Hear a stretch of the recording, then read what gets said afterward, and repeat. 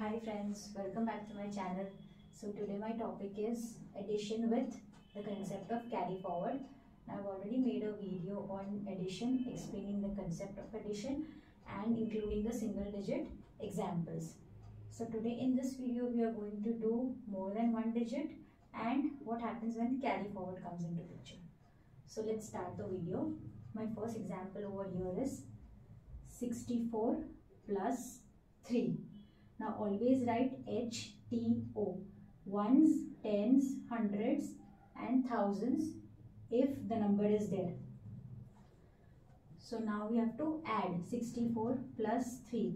Always start with ones, then go to tens, then hundreds and then thousands. So move from right to your left. So add 4 plus 3. Keep 4 in your mind count after 4 additional 3 numbers.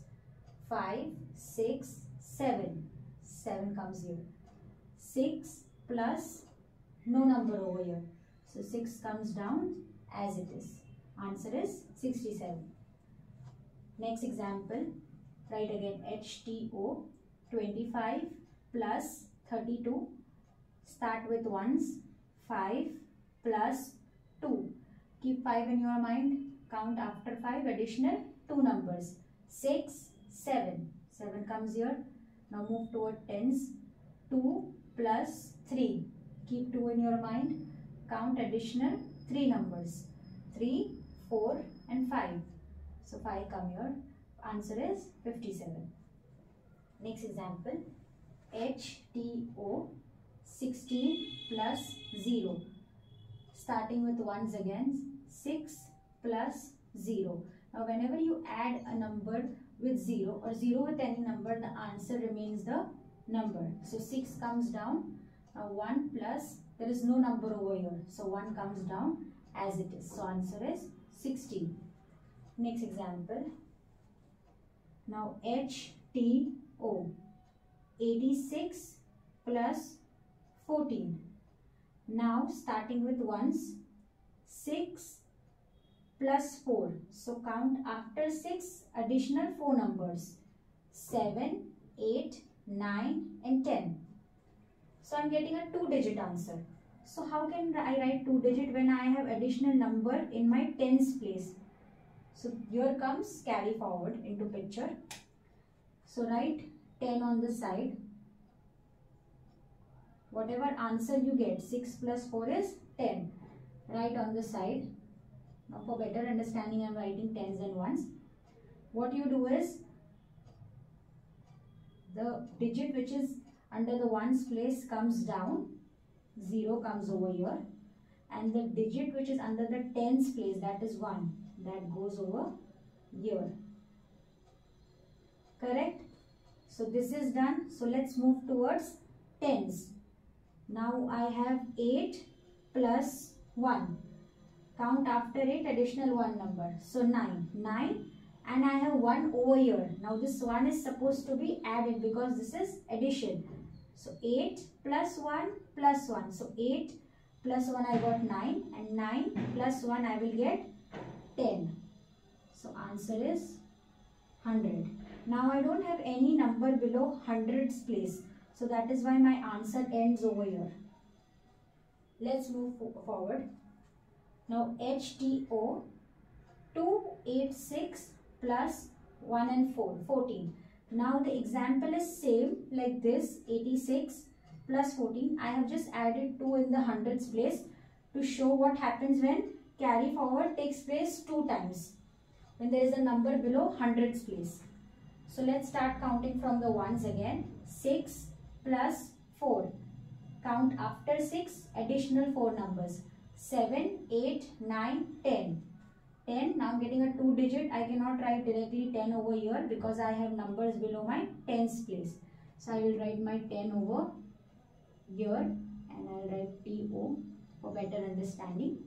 Now out of this 0 will come over here and my 1 will go over here. Ones is done. Let's move towards tens.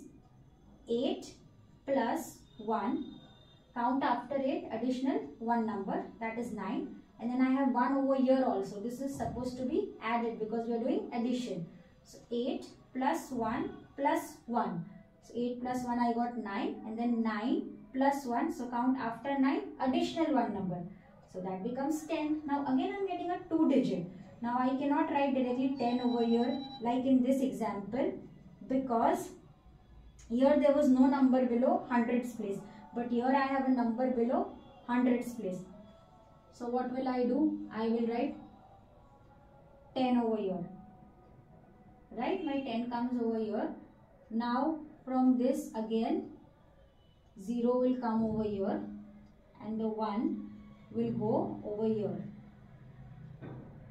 Okay? Like, like we did over here. Same way. Now 0, 0. Now let's move towards hundreds.